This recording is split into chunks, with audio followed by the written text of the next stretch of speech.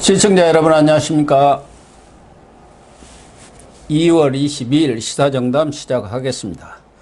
시청자 여러분 어제 저녁 중앙선관위 주최로 열린 1차 TV 토론이 국민의힘 윤석열 후보와 민주당 이재명 후보 간에 정여각 회계사의 녹취록에서 나온 화천대유 소유주 김만배의 발언을 놓고 대충돌을 벌였습니다. 양 후보 간에 한치 양보 없는 신경전을 벌이기도 했는데요. 김정기 동국대 교수님과 TV 토론 정리하도록 하겠습니다. 김 교수님, 네. 에, 어제 TV 토론은 윤석열 후보, 이재명 후보 말씀드린 대로 한치 양보 없는 공방전을 벌였어요. 어, 지난 에, 언론사 주최 어, TV 토론에서는 그래도 서로 좀 어, 뭐랄까 체면이랄까 뭐 맞습니다. 이런 것들을 고려를 하면서 처음엔 점잖게 했죠? 예, 살살 다뤘는데 네.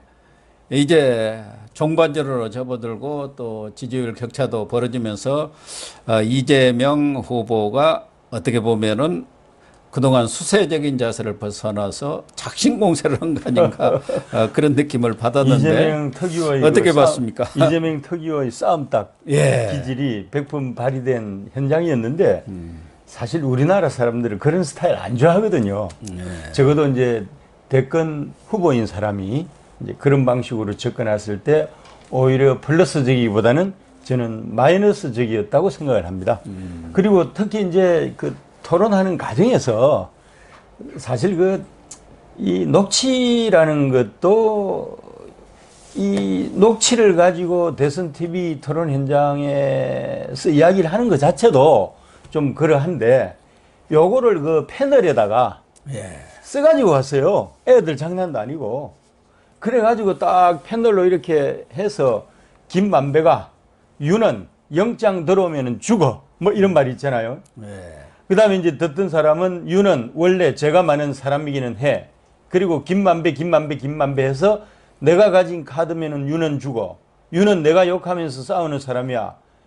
윤이 봐주는 것도 한계가 있지라고 해. 이거를 패널에다가 큰 글씨로 이렇게 써가지고 나왔다니까요. 시청자들 다 보라고.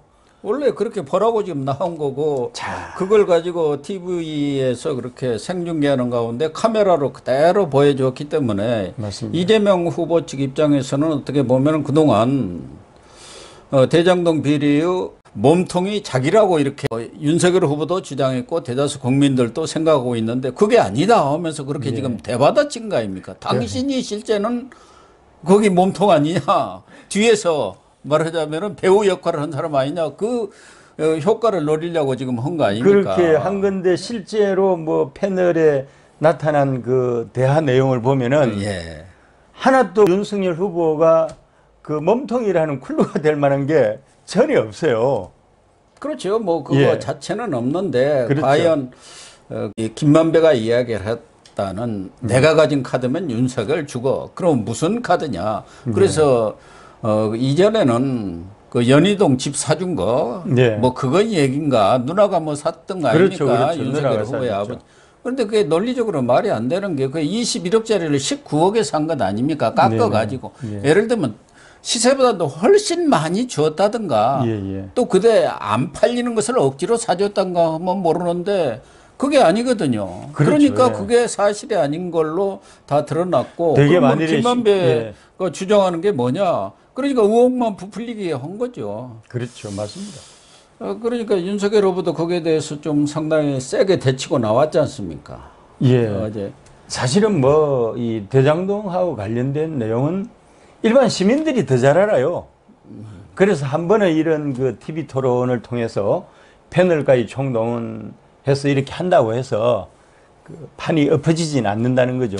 이재명이 뜻대로 기대했던 대로 가지는 않는다는 겁니다. 그 정도로 지금 우리나라 국민들이 훈련이 잘 돼 있어요. 근데 문제는 어제 이제 윤석열 후보가 이- 이재명 그 패널에 손팻말로 들고 나와서 주장한 내용 중에 예.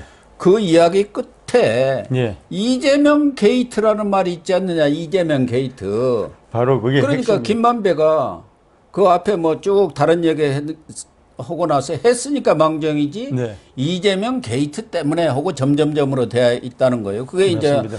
이 녹취록이 검찰에서 재판부에 낸 녹취록 아닙니까? 그렇죠. 예, 그런데 이제 그 땡땡땡이라는 것은 잘 안 들린다 뭐 그런 뜻인 것 같은데 네, 네. 에, 지금 이 친여 검찰이 거기에 녹취록을 냈기 때문에 재판부에 네. 이재명한테 불리한 얘기는 싹 빼버릴 수도 있죠. 그런데 그렇죠. 지금 어, 이 이재명 게이트 이 문제를 가지고 어제 이재명이가 아주 세게 치고 나왔지 않습니까? 어디가 그런 얘기가 있느냐? 그렇죠. 어, 그게 예. 사실 아니면은 허- 거짓말만 하고 맞습니다. 만약 아니라면은 후보 후보, 사퇴. 할 거냐 이렇게 했는데 그래서 지금 갔죠. 이재명 게이트라는 말이 진짜 있느냐 없느냐 이게 지금 장외에서까지 논란이 벌어지고 있는데 월간 조선에 네. 나왔잖아요. 이재명 조선. 게이트란 말이 담겼다고. 어, 그러니까요. 예, 예. 그 2020년 10월 26일 그 녹취록 아닙니까? 그렇습니다. 네. 거기 쭉 보면은 월간 조선에서 그 녹취록을 전량을 아마 입수를 해가지고 그렇죠, 이렇게 그렇죠. 보도를 했는데 거기에 네네. 분명히 나오고 있기 때문에 네. 그렇다면 이재명이가 그 모르고 나왔나? 그걸 모를 리도 없고 아니면은 거짓말 진짜 그 이재명이가 거짓말하는 건가? 뭔가 있으니까 이재명 게이트 때문에 하고 땡땡땡 하지 않았을까요? 그렇죠. 친여 검찰이잖아요. 예, 그러니까 땡땡땡 해놨겠죠. 그리고 이 녹취록이 재판부에 넘어가잖아요. 잘 안 들린다 그 얘기거든요. 그렇죠, 그렇죠. 넘어가는 걸 줄 뻔히 알면서 그냥 이재명 게이트 때문에 땡땡땡으로 끝나버렸단 말이죠. 그러니까 그 앞말이 예. 했으니까 망정이지. 그렇죠. 그 요것도 앞에는 이제 돈 얘기하고 뭐 네네. 어, 그런 그 이익 배당 문제 얘기를 했지 않습니까? 그렇습니다. 네. 했으니까 뭘 했느냐? 대장동 사업을 했으니까 망정이지. 그렇죠. 그거 안 했더라면은 이 이재명 게이트로 드러나면은 우리는 맞습니다. 완전히 거지 된다. 거지 될 뻔했다. 그 얘기로 예, 우리가 그 이야기죠. 예. 충분히 유추는 할수 예, 있잖아요. 유추할 수 있습니다. 네. 어, 근데 뭐 그런데 어저께 우리 윤석열 후보가 이재명 게이트를 딱 바로 아주 순발력 있게 예. 잘 꺼내면서 counter attack을 되게 잘했어요.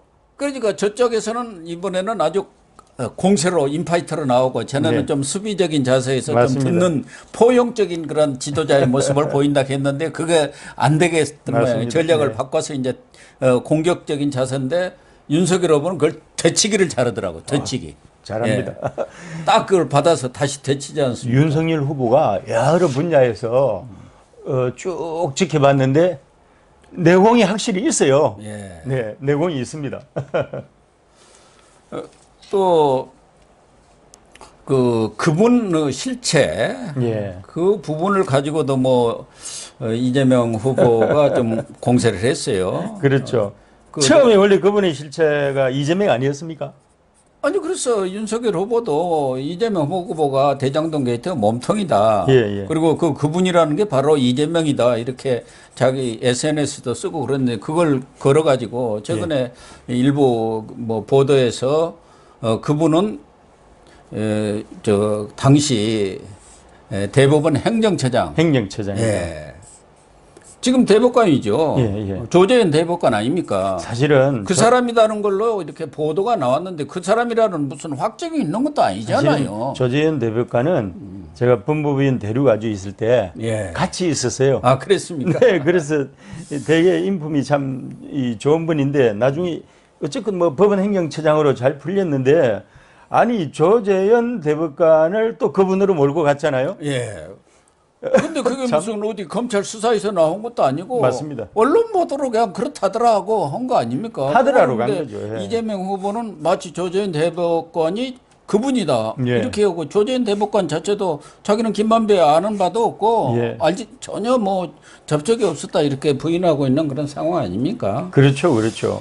어, 그러니까 윤석열 후보도 그 어제 시점이요. 예. 그 박영수가 법무부인 중앙 대표 변호사로 가기 전에 예. 그 법무부인 대륙 아주의 대표 변호사로 있었거든요. 아 그랬군요. 이제 있었는데 어그 이제 박영수 특검이 이제 중앙으로 가고 나서 일어날 일, 일들이잖아요. 대륙 아주에서 일어난 일들이 아니거든요. 예. 그래 놓으니까 이제 이래저래 그냥 연결고리를 잡아가지고 이리 치고 저리 치고 하는데 근데 마지막에 코미디는 또 뭐 그분이 윤모 씨라면서요. 이런 황당한 서술을 쓸 수 있나요? 정영학이 회계사잖아요. 예. 그렇, 그것도 그 이 지방에 있는 음. 그 일개 회계사를 검찰이 어떻게 알겠으며 예. 또한 가지는 그 이만배는 법조 출입 기자니까 네. 법원이나 검찰 쪽을 수시로 들락날락 하잖아요. 예. 그렇게 하니까 서로 인사는 할 수 있겠죠. 음. 서로 이제 그 검찰대 이 법조 기자로서 면들이야 있지만은 그게 그 안다고 할 수 있습니까? 그러니까요. 거기다가 정영학 같은 그 회계사인 사람을 어떻게 알겠습니까? 윤석열 후보가 알 까닭이 없겠죠. 예, 뭐 그렇죠. 특별한 무슨 다른 사연이 있지 않는 한. 네네. 어제는 지금 이재명 게이트 실체를 놓고 게이트라는 말이 있느냐를 없느냐를 놓고 지금 장외에서까지도 있다 없다 이렇게 논란을 벌이고 있는데 네. 그 녹취록에 이재명 게이트라는 말 그 자체가 나온 것만은 지금 사실로 드러나고 있는 것 예. 그렇습니다. 아닌가요? 네. 또 하나는 어제도 보니까 그 방역 패스 뭐 이런 문제를 가지고 예. 이재명 후보가 어, 그, 그 전에 이제 지금 현재 정부 방역은 잘못됐다. 12시까지 다 해야 하고 그렇게 예. 네네. 풀어야지. 예. 어, 뭐 9시, 10시 한다고 그게 무슨 도움이 되느냐 네. 하면서 소상공인이라든가 자영업자를 위해서 풀어야 한다고 한 점을 가지고 논란을 좀 벌였지 않습니까? 그러니까 네. 윤석열 후보가 우리가 원래 주장했던 건데 그러면 방역 잘못했다는 걸 스스로 시인한 거냐. 그렇죠. 뭐 맞습니다. 이렇게 하니까 또 이재명 후보가 또 엉뚱한 얘기를 끄집어내 가지고 뭐 어, 마스크를 썼느니 안 썼느니 예. 어, 그렇게 한거 예, 아니겠습니까? 궁색한 변명이죠. 예. 그 국채 규모 예. 이 부분도 어제 상당히 두 어, 사람 간의 신경전을 좀 벌였지 않습니까? 네네. 국채의 규모가 어, 지금 우리나라 빚이 엄청나게 많은데 그게 과연 어느 정도 되는 것이 합당하다고 보느냐 그 얘기 아니겠습니까? 그렇죠. 이재명이는 뭐 어, 나라 빚이라는 것은 그게 국내에 있는 자산이나 다름없기 때문에 외채가 아니라 큰 문제가 안 되고 우리는 지금 가계 부채가 높으니까 우리 국가 부채 비율은 IMF라든가 예. 저 선진국에 비해서는 좀 낮은 편이니까 국가가 적극적으로 재정 확장 정책을 폐한다는 그런 입장 아닙니까? 네네. 거기에 대해서 지금 어제 에, 논란을 좀 벌였죠. 사실은 사실은 저 이 그 이 저 채무 구- 구조를 국채만 가지고는 이야기해서는 안 되고요. 음. 국가 채무로서 국채뿐만 아니라 가계 부채하고 기업 부채를 다 합산을 해야 되는데 사실은 이게 공이 어 3분 1씩 정도 됩니다. 예. 예, 요즘 좀 바뀌었는지 모르겠는데 제가 최근에 기억하기로는 평균 한 1,500억에서 1,700조? 예. 1,500조에서 1,700조 그 정도, 그죠? 그 정도 되죠. 그렇게 되겠죠. 지금 예, 예. 국가 순수한 부채만도 한 천조가 넘어섰으니까. 네, 네. 그런데 문제는 이제 어, 기축국가에서는 그게 큰 문제가 되지 않지 않습니까? 부- 네, 네. 이 채권을 발행해도 세계적으로 그게 팔려 나가 버리니까 큰 문제가 없는데 우리 같이 비기축국가 예. 이런 데서는 우리나라에서 소비 안 되면 그게 물가 상승의 요인이 되는 것이고 지금 부채 아, 국가에서 이렇게 채무가 너무 많이 되고 보니까 요새 물가가 아주 천정부지로 지금 솟아오르고 있지 않습니까? 그렇죠. 예. 포퓰리즘으로 돈 뿌려대죠. 예. 또 국가에서 빚내 갖고 또 뿌려대죠. 네. 그러니까 돈이 많으니까 물가가 오를 수밖에 없는 거 아니겠습니까? 그런 그렇죠. 점에 대해서 윤석열 후보가 지적을 한 거 아닌가 그렇게 보여지는데 사실은 이제 이재명 후보도 그렇지만은 이 좌파 이 정치인들의 공통적인 시각이 이그 이제 국가가 이, 이 이제 국민 국가가 이제 국민들을 통해서 그 세금을 이제 걷어들여 가지고 다시 이거를 돌려주는 방식인데 이거를 그냥 자기 돈으로 생각을 하는 경향이 많아요. 그래서 내 돈 내가 쓴다는 그런 생각이라니까요. 근데 내 돈 내가 쓰더라도 나도 파산을 할 수 있잖아요. 개인도. 어, 당연히 이제 돈 많이 쓰면 가게 파산하는 그렇죠. 국가도 마찬가지입니다. 예, 국가도 파산하잖아요. 파산 선고 받지 않습니까? 네, 나- 맞습니다. 네, 그래서 아, 지자체도 파산하잖아요. 예. 너무 빚을 많이 써가지고. 국가도 일- 마찬가지입니다. 일본이나 미국 같은데 파산하는 경우가 지자체가 많이 그렇죠. 나오지 않습니까? 국가도 마찬가지고 사실은 뭐 우리나라하고 일본을 많이 비교를 하는데 일본은 인, 인프라가 되게 탄탄하잖아요. 그리고 네. 외환 보유고뿐만 아니라 해외 자산이 상당히 많아요. 그리고 일본은 한 번 죽어도 다시 일어날 수 있는 기초과학이 또 탄탄하고 그래서 우리하고 일본은 비교할 수가 없거든요, 사실은. 예. 네. 어제 또 이재명 후보가 우리나라가 기축 통화국이 될 가능성이 높다. 이렇게 주장을 해가지고 저도 깜짝 놀랐습니다. 우리 그러니까 한화가 기축 통화국이 된다는 거 아닙니까? 그렇죠. 예. 그런 게 어디서 이렇게 공식적으로 뭐, 뭐 보도가 나온 것도 아니고 어떤 권위 있는 기관이라든가 뭐 이런 그렇죠. 데서 한국에 대한 그런 어떤 주장이라든가 논의가 나온 것도 아니지 않습니까? 근데 이재명 후보는 우리나라가 기축통화국이 된다. 지금 뭐 달러라든가 유럽의 유로라든가 이런 걸 이제 기축통화라고 하지 그렇죠. 않습니까? 예, 맞습니다. 달러를 아무리 찍어내도 뭐 문제가 없어요. 근데 이- 이- 우리가 어째서 갑자기 경제 대통령을 자처하시는 분이 앞으로 경제 대통령이 이게 말도 안 되는 게요. 기축 통화국이 될 가능성이 말도 안 되는 게 건가요? 기축 통화라는 거는 사실은 유일한 기축 통화국은 미국밖에. 없습니다.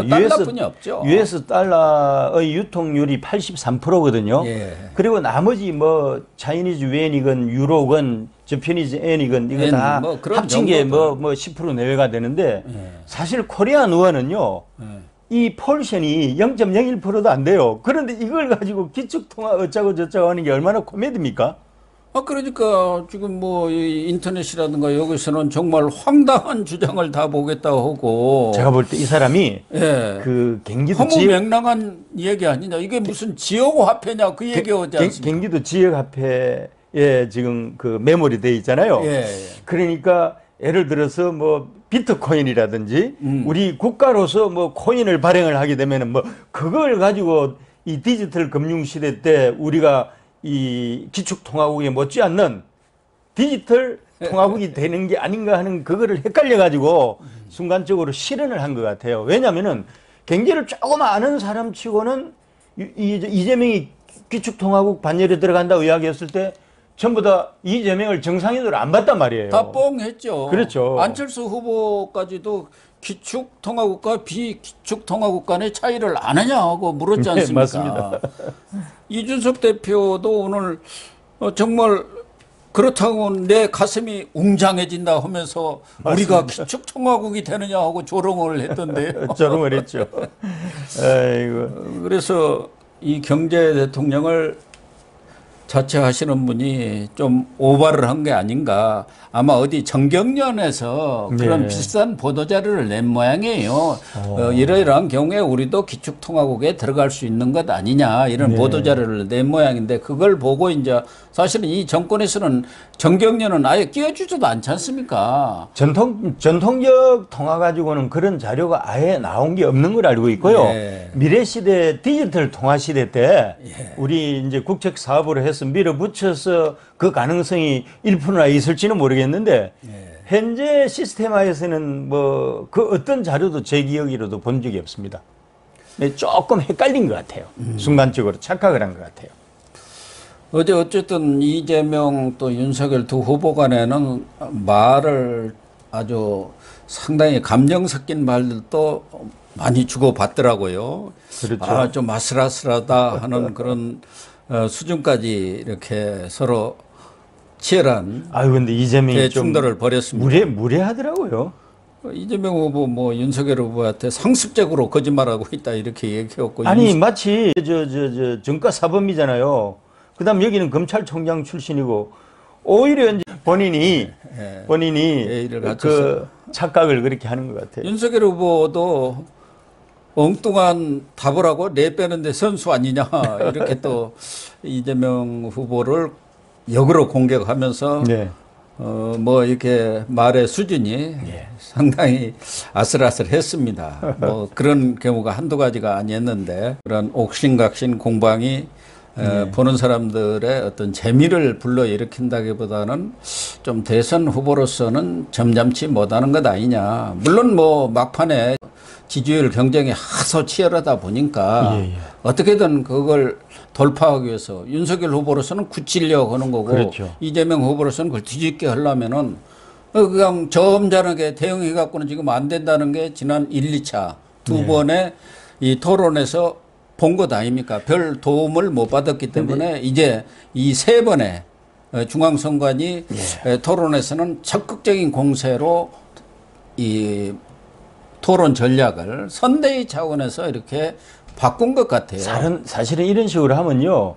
국민들 TV 토론 시청률도 수직 강화할 거라고 생각을 하고, 그 다음에 이제 이재명도 알아야 되는 게 지금까지 역대 대통령 선거에서 TV 토론을 통해서 판이 엎어진 역사가 없습니다.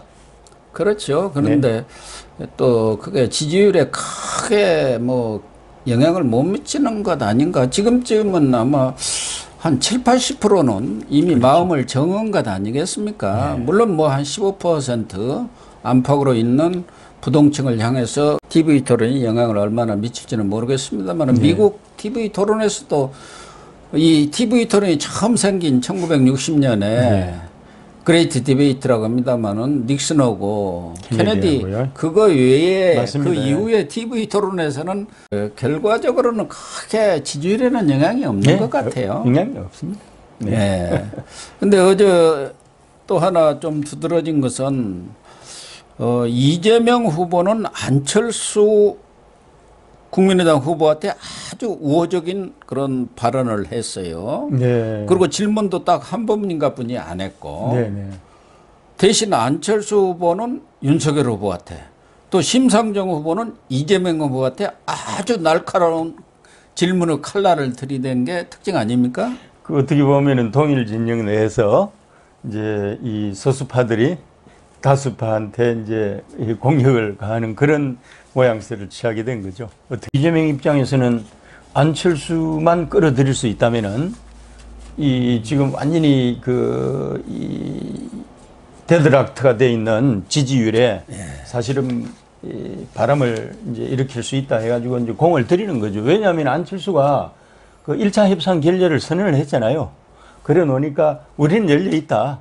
너가 원하는 거 다 줄게. 뭐 그런 거잖아요. 지금 현재. 또 심상정 후보는 이재명 후보를 아주 날카롭게 몰아 세웠습니다. 어제 보면은 네. 그렇죠.